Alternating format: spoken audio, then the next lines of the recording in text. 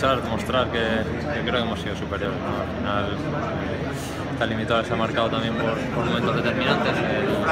El, equipo ha tenido ese 1-3 muy claro para, para poder marcar habría acabado, pero como digo, no estoy contento de, la cara que ha el equipo porque creo que hemos demostrado que, podíamos ser más. De hecho, parecía cuando la lesión de Duriz que se ponía un poco más complicado llegar a tu gol y todo el mundo pensaba que, que el Atleti tenía más opciones de, de pasar.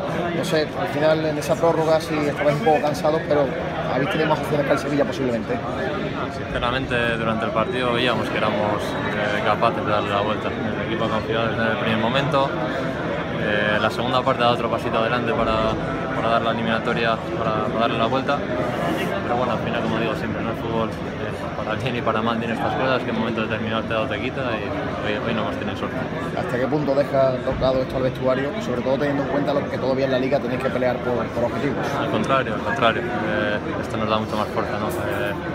como te digo, estamos orgullosos de, de, lo que hemos mostrado hoy, la gente, eh, todos los mensajes que nos manda también es de, de orgullo eso nos tiene que reforzar en lo que hacemos ¿no? para demostrar que, que, queremos estar en Europa y que el año que viene vamos a estar.